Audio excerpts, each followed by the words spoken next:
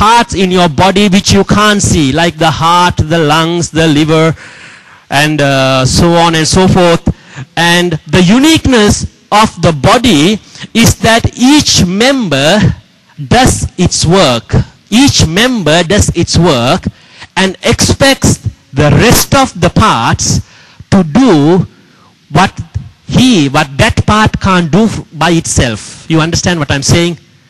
The uniqueness of the body is, now my hand doesn't do everything for me. My hand does certain things for me. But the hand expects the eye to see for it. The hand expects the legs to take, take it to places. The hand expects the heart to pump the blood. Now the hand does not pump blood. But this part of the body expects the other members to do what that part could not do. Now there are no unimportant parts in your body. Now a little bit of a sensitive question. How many of you bite nails? My, I'm, sh- I am shy, but I'm raising my hand. I bite nails. Okay? I know a certain people who bite nails. I'm not going to mention them. Now, though you bite your nails, do you think that your nails are unimportant to you? You bite them off. But do you think your nails are unimportant? No, absolutely no. You look after your nails, you polish them. Sometimes you go to manicure and get it longer, lengthened. You know, there is no problem in that, but nails are important.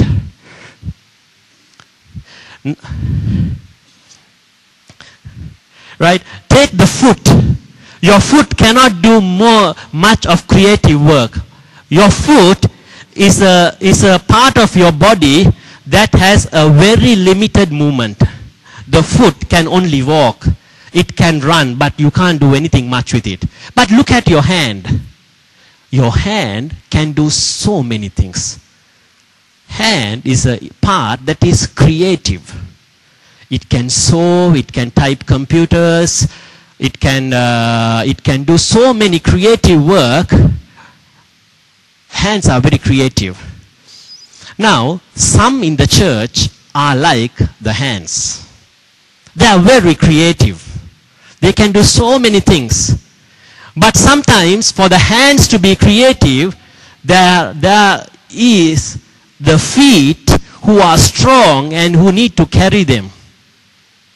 Sometimes the hands can't be that creative if the foot will not take you around. Now, the church is meant to be a body. You know, some are creative and some help others to be creative. That's all part of the body. Now, being a part of the body is not a matter of skill. It's not a matter of talent, but it's a matter of your heart. Do you feel part of this body today? Well, I'm glad to say that is your heart. Are you, do you feel a part of this body today? Or don't, do you not feel a body today? Do you feel estranged from this body today? That shows your heart. Being a member or not being a member is a matter of the heart, not a matter of the skill. If you turn with me to 1 Corinthians 12, 14 to 17.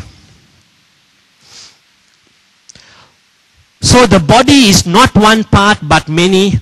If the foot shall say, because I am not a hand, I do not belong to the body, in spite of this, it still belongs to the body. And if the ear should say, because I am not an eye, I don't belong to the body, in spite of this, it still belongs to the body. If the whole body were an eye, where would be the hearing be?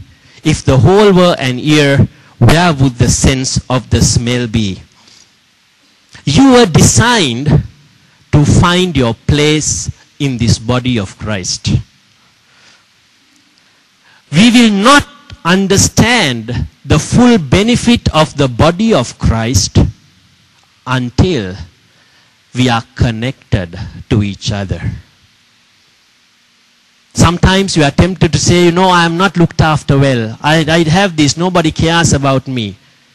That's all because we are not connected to the body. If we are connected to the body, we have the privilege of enjoying the benefit of the body.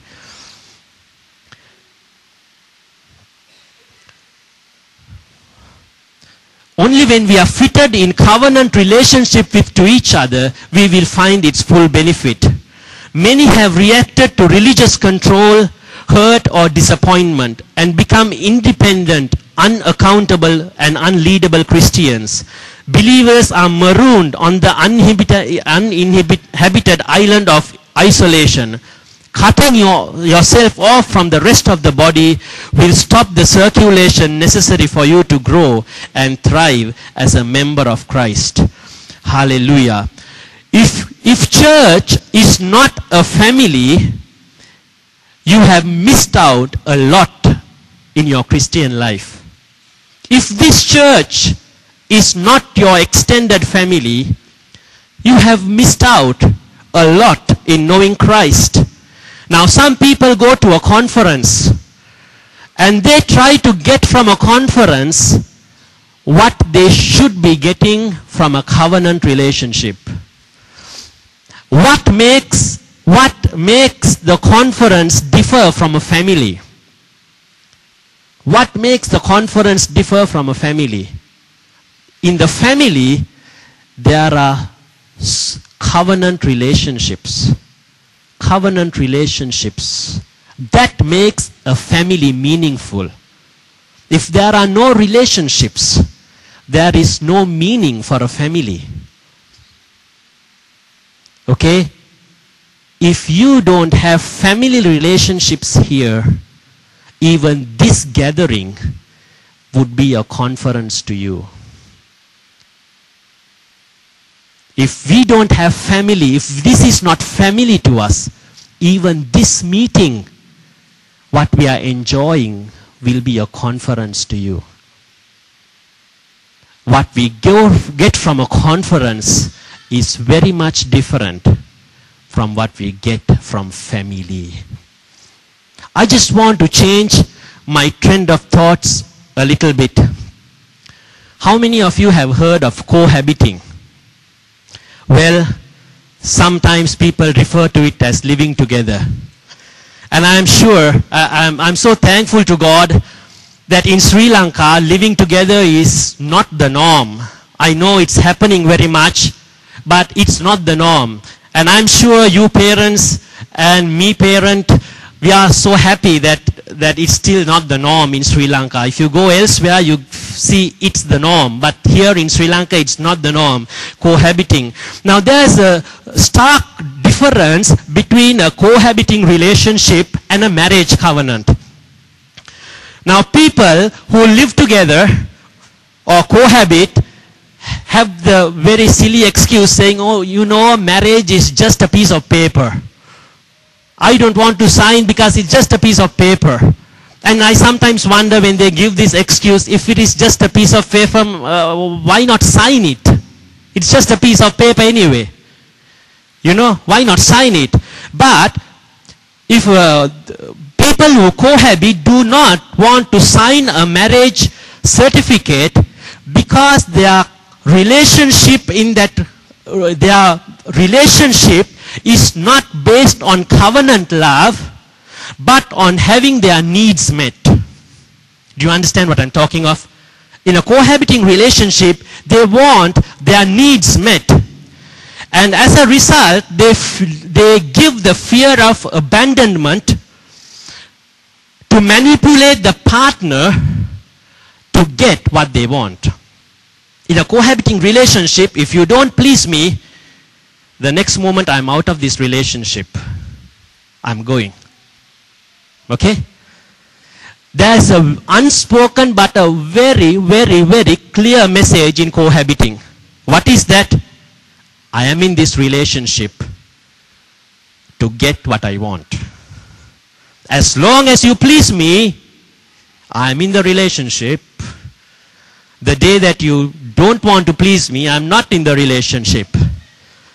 The, In other words, people who live together don't want to make an agreement that lasts forever because that would take away the insecurity that they have placed on their partner to perform. So they cannot sign a contract, they cannot sign a covenant because there is an element of fear of abandonment that has to be there. If you don't please me, I am out. Are you still with me? Okay. Now, uh, uh, read with me Luke 22 verses 47 to 48. Luke 22. While he was still speaking, suddenly a mob was there, and one of the twelve named Judas was leading them. He came near Jesus to kiss him. But Jesus said to him, Judas, are you betraying the Son of Man with a kiss? Judas came to Jesus, and as soon as he saw, he kissed him. But his heart was not with Jesus. He kissed him. Now I call this cohabiting relationship the Judas spirit. The Judas spirit is not an alien spirit in our culture. It is slowly but surely in Colombo. This Judas culture is sometimes taken as the norm for people. They are here only to get what they want. We find it rampant. Now there are three covenants in the Word of God. Can you name the three covenants? What is the first covenant? It is not very difficult. Sorry? Sorry? Yeah, there is a covenant with God. There is a covenant with God. What is, name another covenant we find in scripture? Sorry? Marriage covenant. Okay, there is a marriage covenant. What else do you get in scripture? There are three covenants. Baptism, the, the covenant with the body of Christ. Now, it is interesting to know that all these three covenants use the human body as their example. Your relationship with God, what is, what is it said? You are the body of the, of the Holy Spirit. You are the temple of the Holy Spirit. He who has joined to the Lord are one with him. He uses the body as the example of the covenant between you and God. About marriage covenant, what does it say? The man shall leave the father and mother and they shall become one flesh. They are going to be one body. Marriage covenant, one body, yes, it's wonderful. And what do you think about the covenant with the body of Christ? We just read. We are the body of Christ with many members. So all these three covenants use the human body as their example, but it is sad to say people cohabit in all these three relationships. I just told you about cohabiting in the marriage relationship. They don't enter a marriage relationship, they cohabit. Sometimes they, co- they cohabit their relationship with God. As long as things are good, Lord, I will serve you. As long as things are not good, I will forget about you. You know, they cohabit the relationship with God. And it's sometimes it's sad to say that some people cohabit their church relationship. They desire intimacy without responsibility. They desire pleasure without commitment. They are the first to complain, you are not looking after me well. And there is always a fear put, if you don't look after me, I am out of this relationship. That is cohabiting. Now, dear brothers, it is time to stop cohabiting and enter into covenant. Dear brothers and sisters in Christ, this is my personal opinion. I have seen people in all these three covenants. And it is sometimes you wonder whether these are three covenants or whether they are the one and the same covenant. I have seen people, first of all, they lose their covenant with their church. They become a cohabiting relationship. Second, they lose